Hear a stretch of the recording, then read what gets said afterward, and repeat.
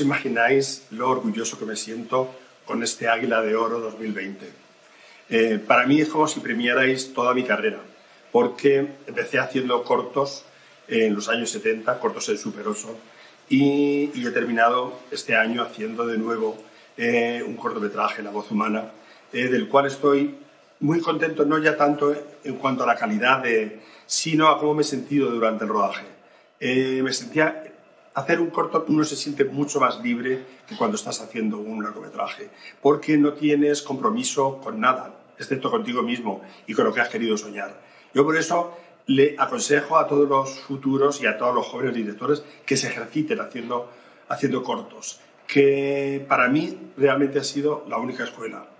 Eh, entonces también quiero agradecer que exista el festival eh, por, y que porque en tiempos tan difíciles para el cine es maravilloso que festivales como el Águila Film Festival apoyen los cortometrajes. Os doy las gracias en mi nombre, pero sobre todo en el nombre de los cineastas del futuro.